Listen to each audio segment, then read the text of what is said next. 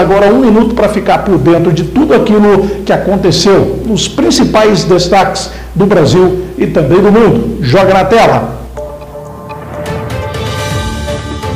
O ministro da Fazenda, Fernando Haddad, se reuniu com a Federação das Indústrias do Estado de São Paulo, a Fiesp. Haddad garantiu que a nova proposta de reforma tributária vai reduzir a carga de impostos sobre a indústria. A promessa ocorreu após reunião com o Conselho da Federação Brasileira de Bancos, Febraban, na manhã de hoje em São Paulo. Segundo o ministro, há apoio no Congresso para a reforma.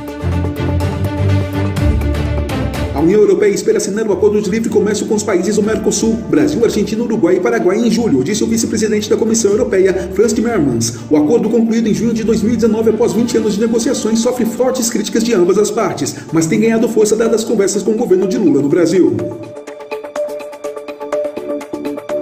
A Ucrânia anunciou que receberá entre 120 a 140 tanques e a maioria serão Leopard. Soldados ucranianos já treinam com os tanques alemães no centro de treinos da Polônia. O governo de Zelensky iniciou o pedido agora também por caças bombardeiros F-16 para frear as forças aéreas russas nos seus céus. Inglaterra, Estados Unidos e Alemanha recusaram o pedido. Já a França se mostrou favorável a entregar os F-16 à Ucrânia.